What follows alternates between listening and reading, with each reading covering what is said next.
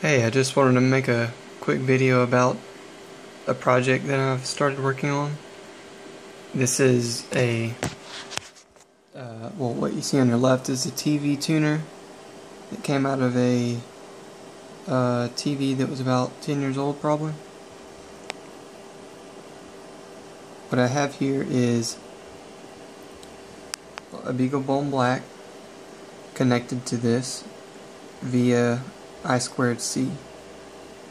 The, the purpose of this is to be able to control the intermittent frequent intermediate frequency that is produced from this right here from the tuner and the way that's done is through a digital uh, TV synthesizer chip that's on here I would show you it's it's on it's on this side over here, but it's kind of hard to see right now.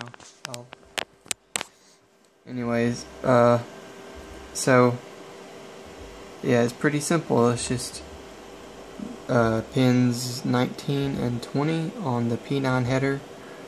Uh, the LED I'm just using as a uh, I'm using one of the leads to connect to the ground. Uh, pin 1 of the P9 header and the yellow uh, alligator clip is going over here and just connecting to the ground on of the TV tuner. Um, yeah, it it's powered by I think five volts. Yeah. Well, the, the the chip I'm trying to talk to at least is powered by five volts, and then there's my oscilloscope probe that I'm looking at, the SDA line. And here's what I have. I've captured some of the data. And so the command that I've sent to this using the BeagleBone Black is uh is you have to use the I2C detect command Oh, that's just one of the commands you can use. It's already built in to the uh, to the Linux distribution on the BeagleBone Black. So it's it's I2C. Let me use my mouse.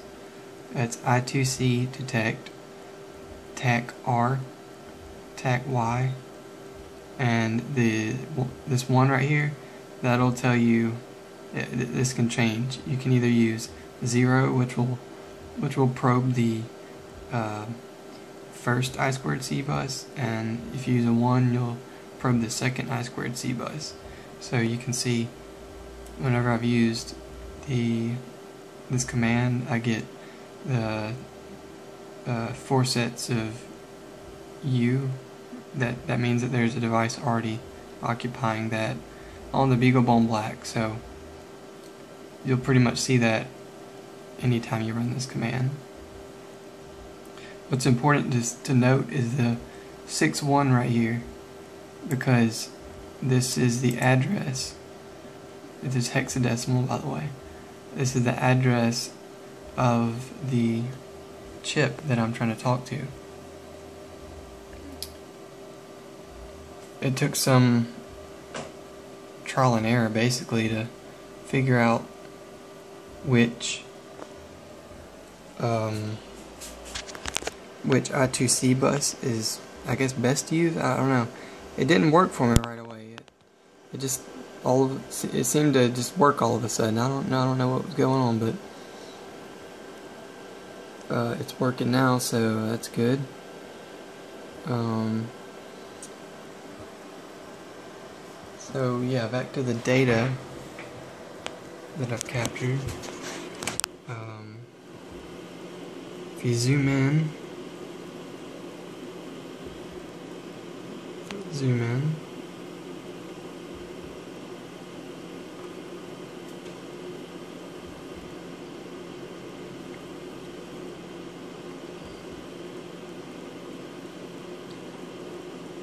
Here's where I need some help. So I'm assuming this is this is the uh, different combinations that the BeagleBone Black sent out. Because you can see you can see you have each set of data separated by this same period of time. So that makes me think that uh, like when it runs this I2C detect it's it's uh, sending out uh, some data and it's, it's expecting to hear back from it. So for example this this one right here could be the trying to see if there's anything on the address 0 0x00 and then 0x01 and all the way through its uh, its range that it has so there's that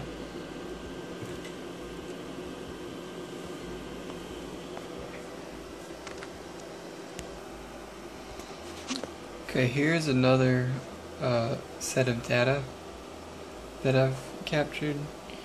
Uh, and what is being sent to it isn't the I2C detect command anymore. Instead, it's, um, I wrote a little script with, and I'll show, I'll show you that.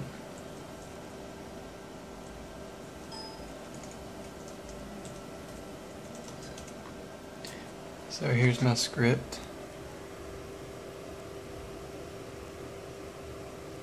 Sorry for the data quality. This is I2C set and what this does is basically writes data to um, your your chip or whatever you're talking to. This, this is the address of the chip and this is the data I'm sending it. So I'll send it, well these are these three are commented out, but you can see um, the first one, all I'm doing is sending one, one byte of data, uh, 0x70, and then I'm reading out, this is I2C dump, I'm reading out everything from the chip after that. So, you can see this is what's returned. 34 and all and all addresses, memory addresses. So that's what I get on a computer. I'll show you what I get on the oscilloscope. And I'm trying to figure out how these two are related.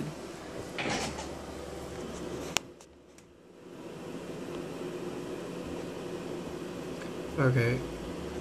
The first thing you see is this right here.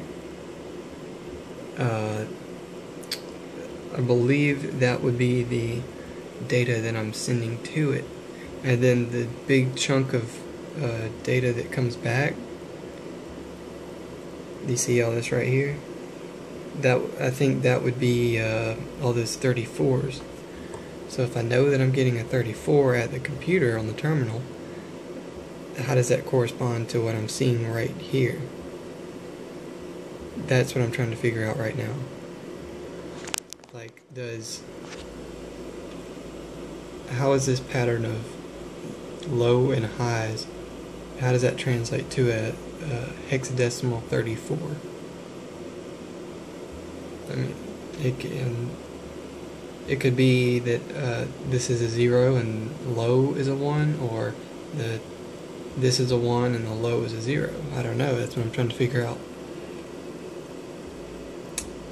But anyways, um, that's that's where I'm at so far with the TV tuner. I'll post any updates as I find out more. Thanks.